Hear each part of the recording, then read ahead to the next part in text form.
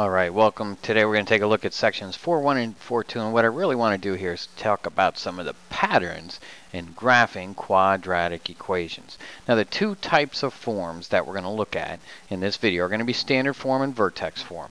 And so we're going to take a look at those two guys and, and really what you're going to need to know about standard form is that it's the A, the B, and the C. Those are all going to be your coefficients that are sitting in front of uh, your variables, x squared, x. C is just a constant. And then for vertex form, uh, f of x is going to equal A, and then times quantity x minus h squared plus k. And remember, one of the things that you want to take a look at in vertex form, your h and your k, these two pieces right here, are going to give you the coordinates for your vertex. But one of the things with the vertex in HK form, you have to remember to switch the sign of the H that you're presented with. So let's take a look at our first couple of pieces and I want to see if we can pick up a pattern here. Now, we're going to take a look at three graphs. One of them is f of x equals x squared, g of x is 2x squared, and h of x is 3 x squared. Now what I want to do is just kind of look at where the vertex is and we can kind of see that and that's at 0, 0. So we're going to fill that in our table of values. Now if I were to mark 0, 0 on my graph, that's located right here. Now if I go 1 to the right of 0 and I plug 1 into x squared, 1 squared is 1 and 2 squared is 4. Now those properties hold true because a quadratic is symmetrical. So when I go back 1, I'm still going to get 1. And when I go back 2 from my vertex, I'm going to end up getting 4. So, Or I could verify those by plotting those, uh, putting those values into f of x and coming up with the values there. So 1, 1, and then 2 up here at 4. Now if I were to put 3 in, then 3, 3 squared would be all the way up here at 9. Now using symmetry, I can plot my other points right here. Okay, so those are going to be the points that are located on the graph of f of x equals x squared. Now, notice the relationship here between my vertex and each one of the points. All right, for my vertex, I'm going to move over 1, up 1, because what's 1 squared, that's 1. Now again, I'm going to go in both directions, over 1, up 1 to the right, and over 1, up 1 to the left. Now if I go 2 to the right, 2 squared is 4, so I, I start from the vertex, I go over 2, and I go up 4. Same thing on the left-hand side of the vertex. And then lastly, if I were to go up over to the right 3, I would go up 3 squared, which is 9. And again, from the vertex, I go over 3 to the left, and 3 squared gives me 9. So that's the pattern that we're going to kind of take a look at here. Now, when we take a look at g of x, now we've got 2x squared. So again, my vertex is still at 0, 0. But notice what happens when I put in my values of x into g of x. I've got 0, 0, but instead of 1, 1. Now I'm going to have 1, 2. And negative 1, 2. And I, when I put in positive 2 or negative 2, in both cases when I square that and then multiply it by 2, 2 squared is 4 times 2 is 8. So I go over 2, up 1, 2, 3, 4, 5, 6, 7, 8 and over here. Now for both of these, notice what happened. Instead of going over 1, up 1 like I did before, I'm starting to go over 1 and up 2. Over 1, up 2. Notice my constant here in front of the x squared term is 2, so I'm doubling how much I'm going up by.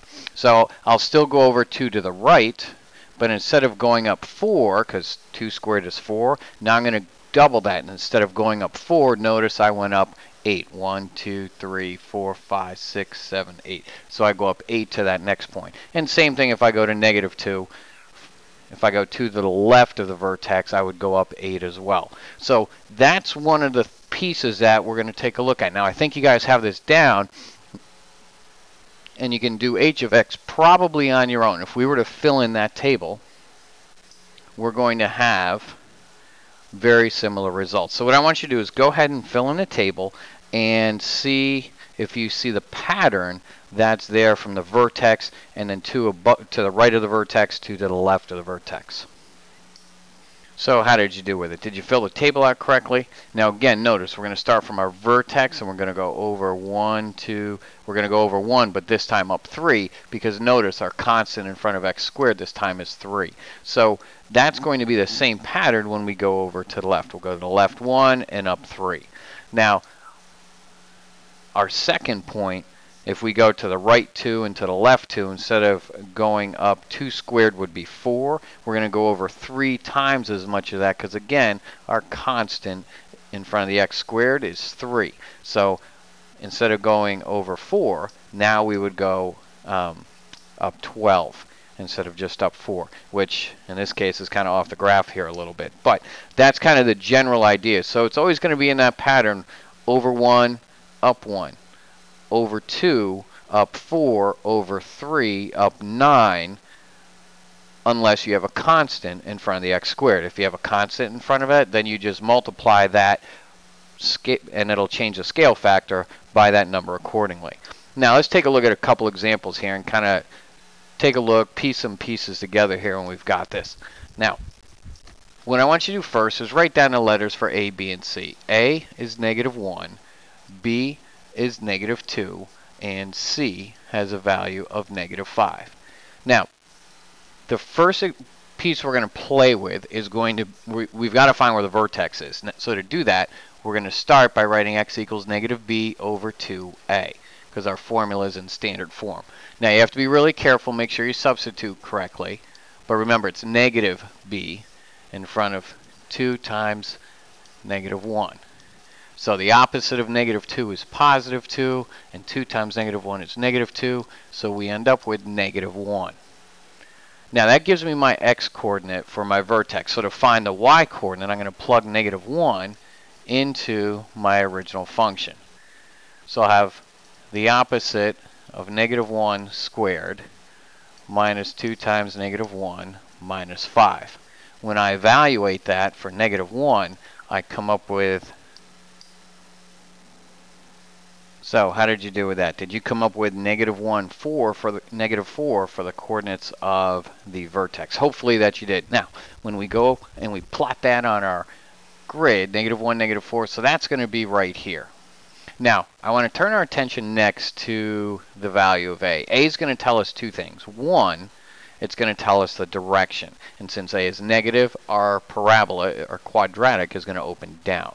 The second thing it's going to tell us is whether we're going to move in that 1 to 1, 2 to 4, 3 to 9 pattern. And since A has a value of 1, we're going to stick to that pattern right there. So what we're going to do is go to the right one and down one.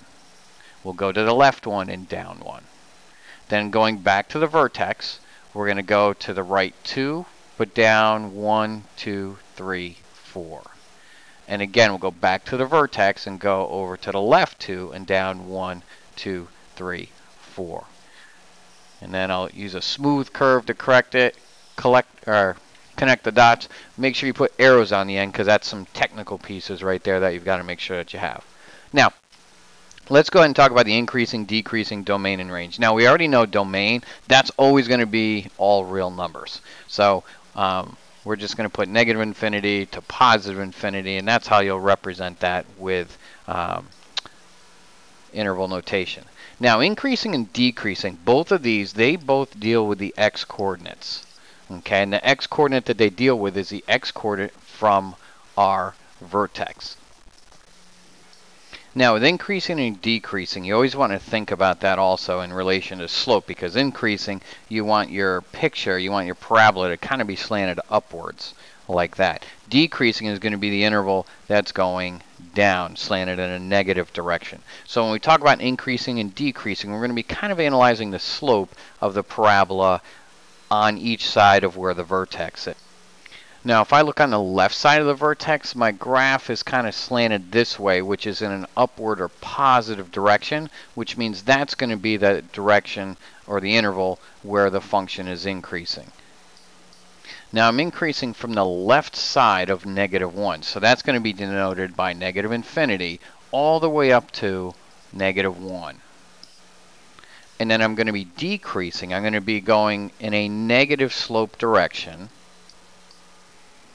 down the other side of my vertex. So that's going to be from negative 1 onward to positive infinity. Now, one of the hardest things students have a challenge with initially is getting thinking about that increasing and decreasing is dealing with the x coordinates. So increasing, decreasing, and domain, those all deal with the x coordinate of your vertex. All right. Now, we've got one other piece to talk about, and that's the range. Now, the range deals with the y coordinate. Not the x coordinate, but the y coordinate of our vertex. So if I look at my vertex, I've got a y coordinate of negative 4. Now notice where negative 4 is on the y-axis. So if I draw a horizontal line, which in this case is there in blue, at y equals negative 4, that's the highest point of my vertex. So the low of the parabola. So it's from everything below negative 4 up to and including y equals negative 4. So since everything is below, that's going to go from negative infinity all the way up to negative 4. But since it includes negative 4, negative 4 will get a hard bracket on it. Infinity and negative infinity always, always, always get a soft bracket. So that's going to be the interval notation for increasing, decreasing, domain, and range. Now let's get those sorted out in set notation. And there's going to be two ways that we go ahead and talk about that in set notation. Now when we look at the increasing and decreasing values for set notation, what I want you to take a look at is where the infinity is or the negative infinity. That's going to be kind of the place where the x goes next to the greater than or the less than sign. The number piece is going to go on the other side. So where we're increasing, we're increasing from all the x's less than negative 1 up to negative 1. So that's why negative 1 is on the right, and we say that x such that x is less than negative 1. We're decreasing from negative 1 all the way on. All the x values after negative 1 are where the function goes down or has that negative slope or all your y values will be negative. So since we're decreasing all the time after negative 1, we say our x's are going to be greater than negative 1 to give us that negative slope. So that's one way to write each of those using set notation. Now for the other way, we're going to take the negative infinity and negative 1 and we're going to put an x right in between that. So that's going to look like this. So I'll have the curly bracket, which is just called a brace or, or a bracket. And then we'll have x such that negative infinity is less than x, which is less than negative 1. So that's one way that we can write that. Now decreasing, see if you can kind of pick up that pattern. We'll have negative 1 and then infinity, and then we're going to have the x in the middle. So that's going to look like this, where we'll have x such that negative 1 is less than x is less than infinity. And notice how the negative 1 and the infinity are on the outside of the x, just like if we write it in interval notation, kind of where the comma is. You want to think about that, like that's where you're going to stick x, and then you'll have less than on each side of where the x's are. Now, domain, we're not really going to worry about so much that in set notation, uh, but you could write that several different ways. So that could be written like one of these two ways. And I've even seen it written a third way, which most of you will probably experience when you get to a college textbook. And a college level textbook will probably notate it like this. So that's going to be this piece highlighted right here above our above our table. We have at, we would have x such that x, and then we have this little symbol. It's actually the name of the symbol is called epsilon, uh, but it means is an element of. So it's kind of like a C with with that looks kind of like an E that got bent over. And then we have this real fancy looking R, and the R is kind of like the paragraph symbol in English, but it's with the letter R instead of the letter P. Because in English, sometimes how you, you get corrected to write a new paragraph, or you have a paragraph entry, Math will use the same thing for all real numbers, but they'll use the letter R. So sometimes you'll see that notation in upper level uh, textbooks. Now let's move on to the range. For our range, since we're going from negative infinity all the way up to negative 4. Now again, we've got to be careful here because the range deals with the y coordinate. Now, so when you write that, make sure that you write y such that. And we have our little brace right there. So we want to make sure that we've got y instead of the letter x. Now, since we go all the way up to negative 1, now take a look at the increasing and decreasing functions. Which one is the range more similar to using the interval notation? Is it more like increasing or is it more like decreasing?